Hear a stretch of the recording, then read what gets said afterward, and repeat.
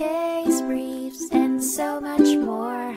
LS Data's got what you're looking for.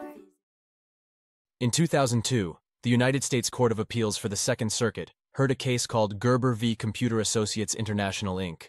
The focus of the case was the best price rule, which prohibits acquirers from making separate deals with shareholders during a tender offer, ensuring fairness in stock purchases.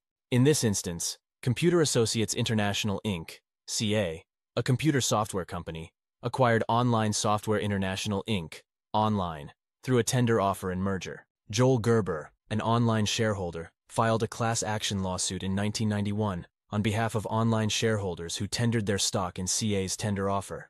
Gerber claimed that CA paid On-Line CEO, Jack Berdy, more money per share than other On-Line shareholders, violating various provisions of the Williams Act and regulations. Berdy owned 1.5 million shares of On-Line stock, which represented around 25% of the company's shares. CA denied the charges, but a jury returned a $5.7 million verdict for the plaintiff class. The district court denied CA's motion for judgment as a matter of law or a new trial, which led to CA and its subsidiary, LWB Merge Inc., LWB, to appeal. However, the court upheld the lower court's decision, denying CA's motion for a new trial or judgment.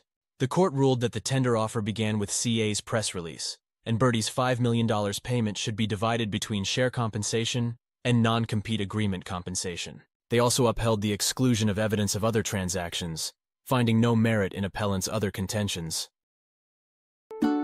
Case briefs, and so much more.